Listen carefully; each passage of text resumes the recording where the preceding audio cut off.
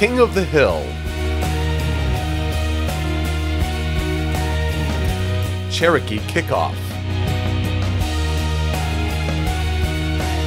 Painting Perfection.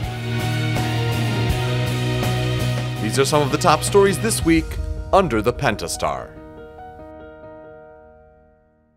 The latest ratings are in for the 2013 Ram 1500, and the pickup truck has been given top marks.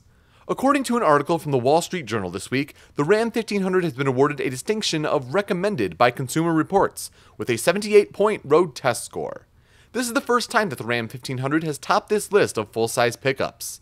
The Wall Street Journal report claims that the Ram 1500 delivers one of the best rides of any pickup and has a touchscreen infotainment system that is one of the best in the business.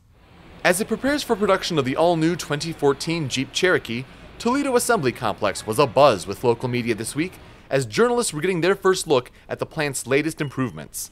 These advancements were part of a $500 million investment that was made to prepare the assembly complex for Cherokee production.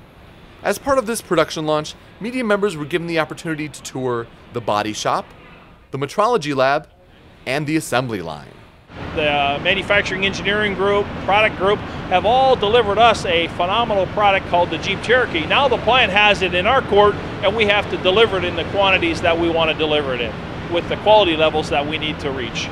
Meanwhile, local media also got the chance this week to get a sneak preview of the Sterling Heights Assembly Plant's brand new paint shop. This 425,000 square foot facility uses the latest technology when it comes to painting vehicles, and it reduces waste using world class manufacturing guidelines. The paint shop will be able to service every Chrysler Group vehicle, except for Ram trucks and the ProMaster. Currently, the facility's construction is only about 85% complete, but production is expected to begin in the first quarter of 2014. And finally, Mopar lovers from all over the world gathered at the Carlisle Chrysler Nationals this past weekend in Carlisle, Pennsylvania. A variety of events took place, but the main draw was the more than 2,400 vehicles that were assembled. The announcement of the Challenger Dream giveaway was the biggest highlight, though, as fans can now enter to win a 1971 and a 2013 Plum Crazy 426 Hemi Dodge Challenger. As if winning both cars weren't enough, the winner also gets $50,000 to cover taxes. Enthusiasts can learn more and apply for the giveaway over at winthemopars.com. And that's what's been happening this week under the Pentastar.